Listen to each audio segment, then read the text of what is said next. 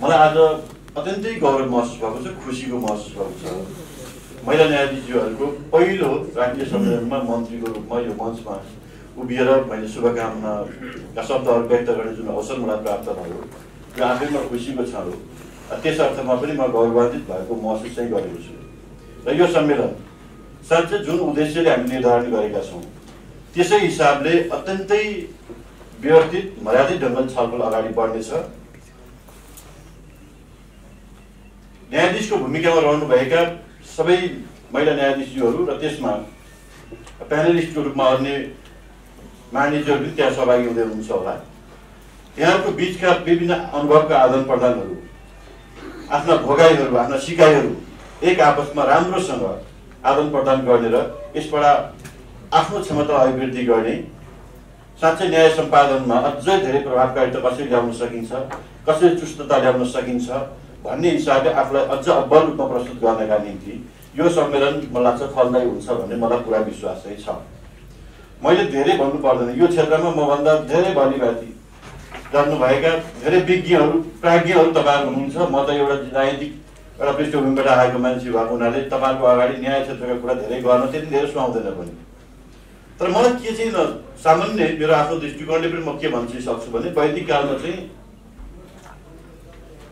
लक्ष्मी देवी भगवती सरस्वतीले जसरी समाजलाई न्याय सम्पादन गर्थे न्याय प्रदान गर्थे जहाँ जहाँ चुनौतीहरू आउँथ्यो जहाँ जहाँ सङ्कटहरू आउँथ्यो जहाँ जहाँ अप्ठ्यारोहरू आउँथ्यो जहाँ जहाँ समाजभित्र चाहिँ मानव जातिमा चाहिँ सङ्कटहरू आउँथ्यो त्यति बेला ईश्वरहरू प्रकट हुन्थ्यो र न्याय सम्पादन गर्थे हामीले बुझेका छौँ।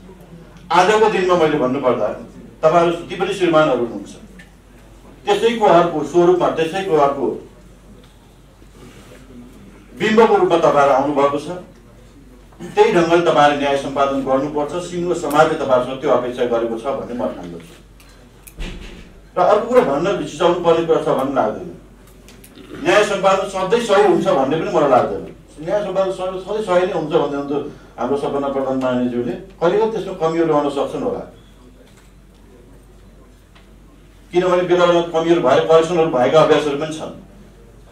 तर तुलनात्मक रूपले हेर्ने हो भने महिला श्रीमानहरूले महिला न्यायाधीशहरूले सम्पादन गरेका न्यायहरू बढी विवाद एकदमै विवाद रहित र साँच्चै त्यो न्यायको एउटा मर्मको गहिराइसम्म पुगेर न्याय दिन सक्ने त्यो ल्याकत राखेको विगतबाट हामी देख्न सक्छौँ। यो हामी सबै गौरवको विषय हो। हामीले राज्यको सिङ्गी पुनर्संरचना गऱ्यौँ नयाँ संविधान जारी गऱ्यौँ राज्यका सबै निकायहरूमा समानुपातिक प्रतिनिधित्व कुराहरू गऱ्यौँ राज्यका सबै क्षेत्रमा समानुपातिक प्रतिनिधित्व कुराहरू हामीले गरेका छौँ।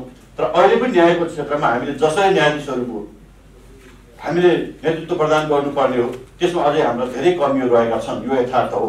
आजको दिनमा पनि दस पोइन्ट पाँच प्रतिशत मात्रै भन्दा एउटा आँकडा मैले सुने। यो अत्यन्त कम हो।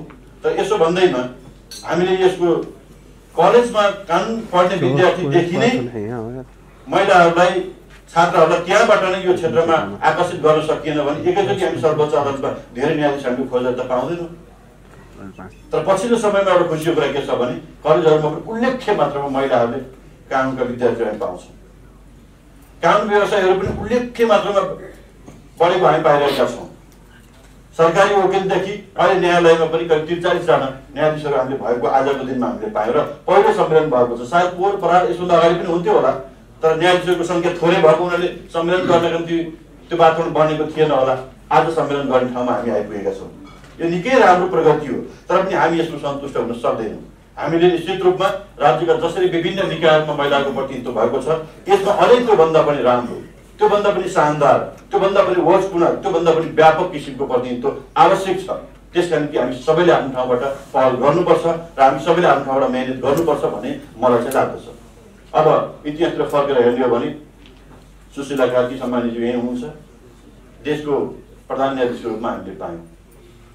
धेरै ठुलो गर्वको विषय मलाई पनि सुरु सुरुमा के लागेको थियो भने उहाँ चाहिँ प्रधान न्यायाधीशको रूपमा रहँदै रहँदाखेरि मेरो पनि बुझाइले कस्तो उहाँले नेतृत्व प्रदान गर्नुहुन्छ होला भनेर मैले चाहिँ बडो गम्भीरताका साथ हेरेको थिएँ। तर उहाँको प्रत्येक दिनहरू प्रत्येक पलहरू हेर्दै जाँदाखेरि यस्तो माइलेज दिँदै गयो। वा महिलाहरूले साँच्चै नेतृत्व पाउँदाखेरि हरेक क्षेत्रमा कसरी पखेटा फिजाएर उड्न पायो भने कसरी चाहिँ उड्दो रहेछ कति कसरी नतिजा दिँदो रहेछ भन्ने कुरा उहाँबाट धेरै देख्न सकिन्छ। तर पितृ सदात्मक समाज हो। हाम्रा सोचहरू अनि सङ्किनै छन्। हाम्रा विचारहरू पनि केही सङ्किने साँगुरा घेराभित्रै छन्। उहाँहरूले नै महावीरको सामना गर्नुपर्छ जस्तो लगाउनु जस्तो नमिठो अनुभव पनि हामी पहिला भनौँ मतलब तितो बिटर एउटा चाहिँ विगतका हाम्रा एउटा पाटाहरू पनि हामीले अनुभव गर्नु परिस्थिति चाहिँ आयो। किनकि यो सिङ्गो समाजको हाम्रो सोच चेतको सिङ्गो समाजले हामीलाई विकास गरेको हाम्रो मानसिकता हो त्यो रिफ्लेक्ट भएको। त्यो भोलि आउने न्यायाधीशहरूले पनि यस्ता समस्या भोगिरहनुपर्छ। कति भन्न सक्नुहुन्छ कति भन्न सक्नुहुन्न। तर पनि सबैलाई त्यो परिराखेका हुन्छ। घरदेखि बाहिर परसम्म। तर पनि यी सबै पहाडहरू छिचोलेर यी सबै प्रतिकूलतालाई अनुकूलतामा बदलेर समाजमा योगदान गर्न सक्ने सामर्थ्य महिलाहरूसँग हुन्छ महिला श्रीमानहरूसँग छ भन्ने कुरा त्यो इतिहासबाट जब जाहेर भएको छ। सबभन्दा मलाई गर्दा उहाँ बाह्रमा हुँदाखेरि पनि मलाई त्यति बेला लाग्छ म फेरि एक्ज्याक्ट थाहा छैन। सायद उहाँकै नेतृत्वमा महिला कानुन व्यवसायहरूको राष्ट्रिय एउटा सम्मेलन के गर्यो जस्तो पनि मैले मान्थेँ त्यसले एउटा निकै राम्रो सन्देश प्रभाव गरेको थियो। निकै महिलाहरूको उत्साह भर्ने काम गरेको थियो। आज पनि उहाँकै फेरि नेतृत्व उहाँले प्रदान गरिरहनु भएको छ र यी सम्मेलनहरूमा उहाँ धेरै ठुलो भूमिका खेल्दै हुनुहुन्छ। र भोलि भयो प्रधान न्यायाधीश हुने कुरा यो सुनिश्चितै छ। यो हामी सिनारी जुन देख्दैछौँ यस्ता विषयहरूले पनि के छ भने सबै महिला साथीहरू सबै पुरुष साथीहरूलाई सिङ्गै नेपाली नागरिकहरूलाई तपाईँहरू प्रेरणाको स्रोत बन्नुभएको छ। त्यही हिसाबले तपाईँहरूबाट धेरै मान्छेहरू सिक्ने एउटा ठुलो अवसर मिल्छ। तपाईँहरू जस्ता व्यक्तित्वहरूबाट सबै सिङ्ग समाजले त्यसबाट प्रेरणा प्राप्त गरेर अगाडि बढ्ने त्यो हिम्मत र मनोबल उठाउने काममा यहाँले पनि निरन्तर योगदान गर्नुपर्छ भन्ने म ठान्दछु र म लामो कुरा अब म भन्दिनँ। अब यो व्यक्त पनि म ठानेको छैन। र एउटा कुरा चाहिँ अघि श्रीमानले बोल्ने क्रममा भन्नुभएको थियो जुन सर्वोच्चले पदहरूको यो निर्देशनात्मक जति आदेशहरू छन् त्यसलाई निश्चित रूपमा कार्यान्वयन गर्नका निम्ति कानुन निर्माण गर्नका निम्ति सरकारले एकदमै प्राथमिकतामा राखेर यसलाई काम अगाडि बढाएको छ। म कानुन मन्त्रीको नाताले म ती कामहरूलाई असाध्यै पहिलो प्राथमिकतामा राखेर अनि प्रोएक्टिभ भएर ती कामहरूलाई अगाडि बढाउने सन्दर्भमा मैले अवश्य पनि भूमिका खेल्नेछु। सँगसँगै यस्ता कार्यक्रमको आयोजना गर्नका निम्ति खास गरी महिला न्यायाधीशहरूको अझै वृद्धि विकासका निम्ति समता अभिवृद्धिका निम्ति हामीले कस्तो खालको चाहिँ कार्यक्रम तपाईँहरूले लिएर आउनुहुन्छ त्यसमा हामीले सरकारको तर्फबाट के सहयोग र योगदान गर्नुपर्ने हुन्छ हामी अर्को राउन्डमा पनि छलफल गरौँला। त्यसका निम्ति मैले एकदमै महत्त्व दिएर त्यसमा भूमिका खेल्नेछु सहयोग पुऱ्याउने कोसिस पनि म गर्नेछु। म यही कुरा राख्न चाहन्छु र फेरि पनि म भन्न चाहन्छु।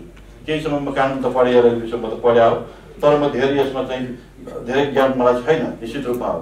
म फरक पृष्ठभूमिबाट आएँ। तैपनि मलाई एउटा के गजब लागिरहेको छ भने सामान्य प्रधान न्यायाधीश सामान्य न्यायाधीशहरू काम व्यवसायी साथीहरू सबैका बिचमा बसेर एउटा नयाँ क्षेत्रलाई नजिकबाट सिक्ने बुझ्ने र आफूलाई चाहिँ अगाडि बढाउने एउटा ठुलो एउटा अवसरको रूपमा मैले यसलाई प्राप्त गरेको छु पहिला स्वास्थ्य मन्त्री केही समय काम गरेका थिएँ त्यो क्षेत्र पनि बुझेँ डक्टर साहबहरू कस्ता हुन्छन् होला के छ होला त्यहाँको समस्या भनेर केही समय बुझ्दै थिएँ बुझेर अब लगभग अब एक्सनमा जाने गरी गियर बदलेर चाहिँ गाडी हाँक्ने बेलामा चाहिँ मन्त्री छोडेर बाहिर निस्किनु पर्यो तर लाग्छ योबाट पर्ने छैन। तपाईँहरू लामो समय सहकार्य गर्न पाउँछु।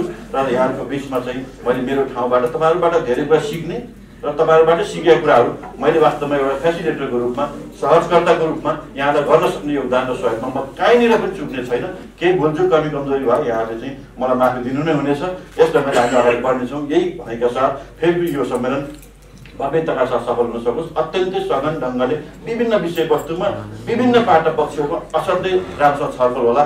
विभिन्न ठाउँमा कार्य सम्पादन गर्दाखेरि न्याय सम्पादन गर्दा तपाईँहरूले अनुभव गरेका कुराहरू पनि यहाँ सबै कुरा एक प्रकारले आउनेछ मुखरित हुनेछन् र त्यस विषयमा पनि सहानुभूतिको आदान प्रदान गर्दै भोलि एकले अर्कालाई सिकाउने यो प्रक्रियाबाट हामी अगाडि बढ्यौँ भने हाम्रो एउटा चाहिने नलेजको एउटा सीमाको दायरा पनि फराकिलो भएर जान्छ।